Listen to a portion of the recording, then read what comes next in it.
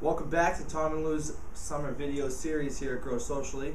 Uh, today we're going to talk about some crazy stuff went down on Facebook this week. It's crazy stuff. Yeah, it's nuts. Yeah, it's Um, nuts.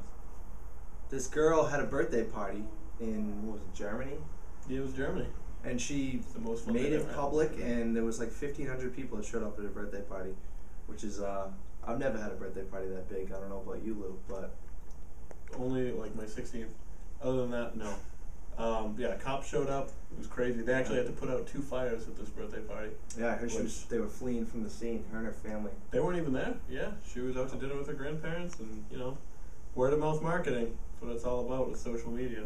So I guess that goes to show us it's bittersweet. Either uh, depending upon who you are, obviously she didn't want fifteen hundred people at her house, but if you're a company looking to spread your word, uh, you Or never have a know great how- birthday party. Yeah, or have an awesome birthday party. So thank you very much for joining us. So uh, we'll see you again later on this week.